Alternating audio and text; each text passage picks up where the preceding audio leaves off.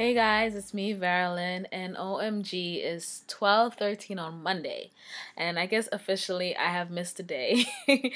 um, Sunday, which is yesterday officially, but I'm gonna consider it today. Um, was definitely one of those days. I actually started out really good. I woke up and um, had my smoothie, my my green juicy thing that I make, and then um, I made plans for my sister was coming over to Brooklyn, Bronx girl coming to Brooklyn. Um, so that was definitely an event. We had a great day. Um, having we had lunch and then um I took her to some places around me that like I have something on that she likes as far as like clothes and so she wanted to check out some of the stores I've been um, going to here in Brooklyn and so yeah so today was just like one of those days. I had to pay rent today um, and then came home and was just doing some cleaning. And now it is 12:14 and i'm finally settling in. I've literally taken ooh, taking the cork off the wine and I'm just gonna have like one of the mellow nights tonight. Um, I've been trying not to drink as much wine because wine has a lot of calories actually. Um, so I don't drink as much wine as I used to, but tonight I will be. Um, I'm gonna continue watching The Good Wife. Um, this series. I'm gonna stop saying um so much. One thing about doing these video blogs is that I've learned that I say like a lot and I say um a lot. And as a media professional, that's something I definitely have to stop doing.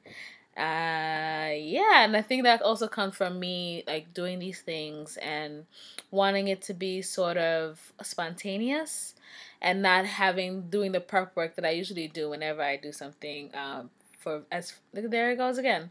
Whenever I do something when it comes to the media or putting up a video blog or putting out anything that I reported on, I'm usually a lot more prepared than I am when I do these things. And it's pretty vulnerable to sit here. Like right now, uh, I've realized I didn't do any of these things, and like I didn't have time to put on makeup or get my lighting right and it's definitely been in my wig like i'm fixing my wig because you know i definitely just put it on right before i decided to do this because i washed my hair today and like i was kind of letting it air dry.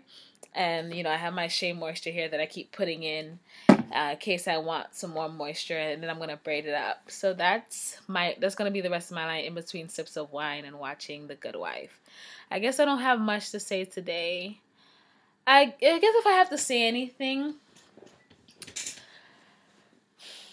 I'm always struggling to see how much of my I feel like I'm Beyonce right now, but I do. I kind of always I don't know how much of myself I ever want to put out there in general, even though I know I'm I'm pretty much an open book. Like uh, even on Facebook, I don't really have that many controls like I used to. Everything I put out there is pretty much friends of friends. So I'm not I'm pretty much an open book and I think that the reason I've decided to do that is cuz with my video blog I'm constantly asking people to put themselves out there and there's nothing that I will ask of someone that I wouldn't reveal for myself as well.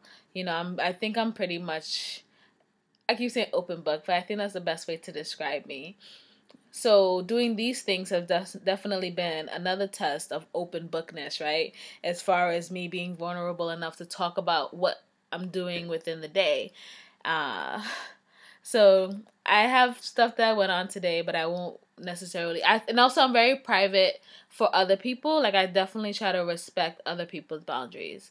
So that's kind of like the balance that I always feel. Like how much of myself do I put out there, but then I don't want to put so much out there that I'm not respecting the boundaries of other people in my life. So I'm sure that anything that I say today will definitely do that. So I won't. I will say though is how like in the age of Facebook and in the age of you know YouTube and in the age of Twitter where everyone thinks that their thoughts are so special, including me. How do we kind of keep our privacy? Is privacy as important?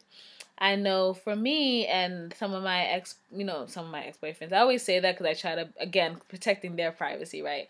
But really just one ex boyfriend.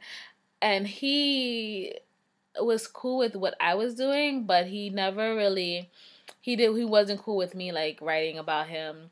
It wasn't until things started going south that I started writing about him because I'm like, boom, bump you. Anyone that follows my blog knows that um, during my dating time, I had this thing called Pima, where I would write about things that was going on with people that I was dating. And when I got with him, Pima kind of stopped because I was like, you know, I didn't want to put jeopardize our relationship.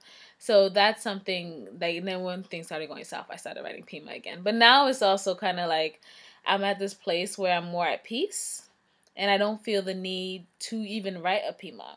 Like Pima came out of a place of me feeling frustrated with the dating world and me like encountering the craziest things and feeling like, yo, this can't just be me. And some of the stuff that would happen to me is like is this real? like this is like a movie. And so I also wanted to collect stories of other women and I got a few. So not everything in Pima is me, although most people don't believe that. It's true. Not all Pimas are me. So I think I'm going to start Pima up again. I don't know. You should go check that out. Anyway, I don't have much to say today. I guess that's just my question of the day is just, you know, would you ever do something like this? Like even my friend Inga was just talking about how like she doesn't know if she could ever do this, right? And my friend Alexis, who actually was on this, both Inga and Alexis have it on this blog. She actually got inspired to do her own thing, and I actually I know she's kind of slipped up and not doing it every day, but I know she wants to change that. So you know, I'm really what I'm doing right now, even though it's just me talking, I know it's not as easy and it's even not easy for me. So I guess my question today is, you know, just how how much of ourselves are we comfortable putting out there? What are the limits? What are the boundaries? And how do you kind of manage that? And I guess my audience is YouTube and Facebook, so that's going to be kind of interesting to see what people cut back. Don't mind my craziness of the day. I promise tomorrow I'll have something very thoughtful to say. Um, yeah, so let me know. Peace out.